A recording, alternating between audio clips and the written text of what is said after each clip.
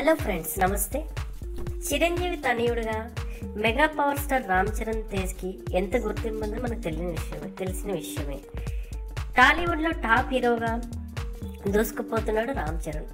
రామ్ చరణ్ ఇటీవల corona positive బారిన పడ్డారని మనకు తెలిసిందే. ఆయన ఇప్పుడు స్పెషల్ క్వారంటైన్లో ఉంటూ చికిత్స తీసుకుంటున్నారు. ఇప్పటికే కోలుకున్నారని విశ్వసనీయ వర్గాల నుంచి సమాచారం అందుతుంది. అయితే రామ్ చరణ్ వాళ్ళ అమ్మ మదర్ మరియు నానమ్మతో కలిసి తీసుకున్న ఫొటోస్ ఇప్పుడు సోషల్ మీడియాలో వైరల్గా మారాయి.